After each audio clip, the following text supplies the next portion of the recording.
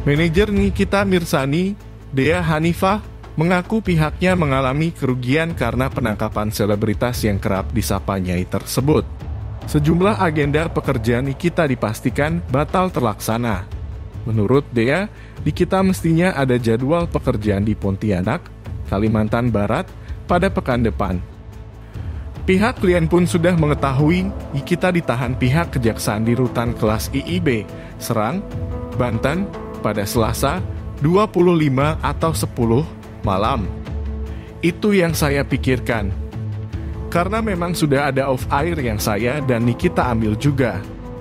Terus minggu depan juga harusnya berangkat ke Pontianak. Kata dia pada Selasa, 25 atau 10 malam. Untungnya klien kami mengerti segala macam, jadi ya sudah katanya. Sebenarnya kalau omongin kerugian ya pasti rugi. Karena kami kehilangan kerjaan dan segala macam. Ketika dia ditanya apakah ada klien yang meminta uang tanda jadi dikembalikan. Ia menyebut enggak sih. Alhamdulillah belum ada yang meminta pengembalian uang. Ia merasa beruntung mendapatkan klien yang mengerti kondisi Nikita Mirsani. Ia mengklaim banyak klien yang memberi dukungan ke Nyai atas kasus hukum tersebut. Yang saya takutin itu sebetulnya ada klien yang bagaimana-bagaimana.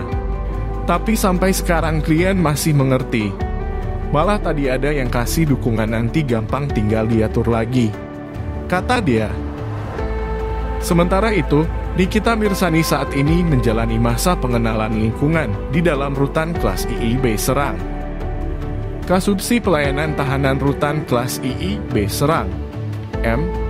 Kavi Fikardian menuturkan artis itu juga bisa bersosialisasi dengan baik